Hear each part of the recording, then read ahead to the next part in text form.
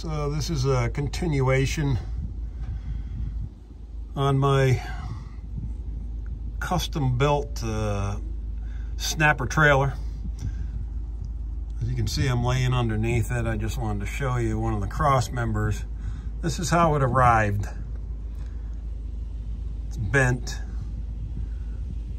There's no screws in it. You can see the screws there. They use screws that are about two and a half inches long for something that only needs to be about an inch um, throughout the whole the whole trailer is like that.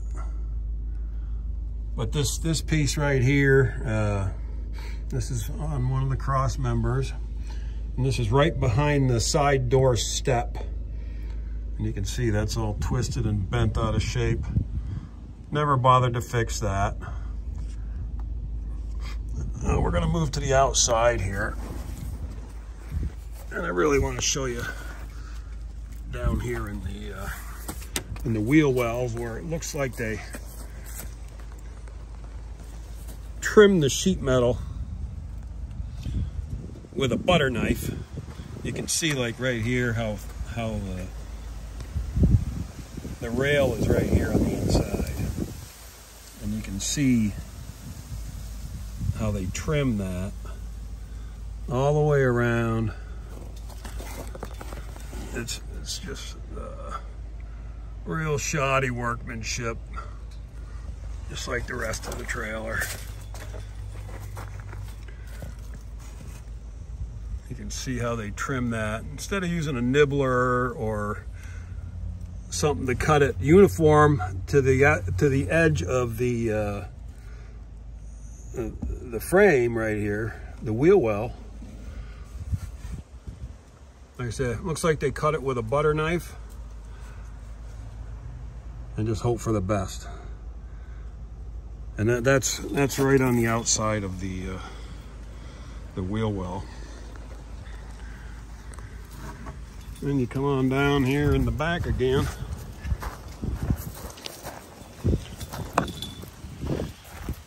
And you can see the big buckles right here on the sides. Because they got the piece a little bit too long but that's okay. They just keep going with it. And then the handles this handle's okay. You can actually fit your hand behind it and work with it the way it should be. This one here however this is you can't even get your fingers in there. I'm gonna have to bend that back into shape um,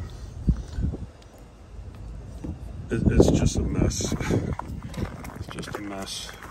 This is one of the first things I noticed when I was at the dealer. This screw right here is was hanging out like that. And they didn't even have a screw to replace that. I haven't I just haven't gotten to it yet. I've been fixing everything else on this damn thing. And here is a shot of the other side. More of the same with the trim job. You can look at how nasty that is, man. You put your hands on that, you probably get sliced all up. They don't they don't care about anything, man. They just look at that. Look at that mess. It's unbelievable. The lack of workmanship in this.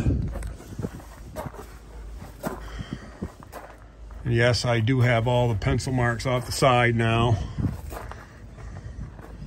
I have foamed the inside, put the walls back together. And when I did that, I filled the gaps on the end of the, on the bottom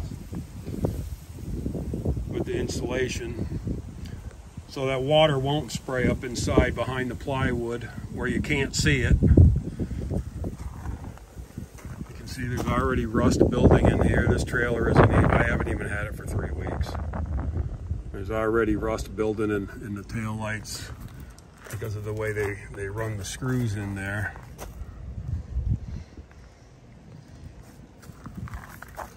All right, well, that's it for now. Next installment coming up. And I am going to make a uh,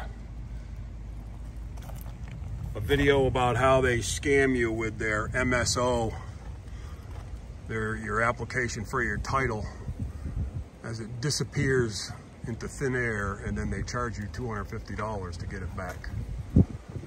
I got a pretty detailed video of that coming up.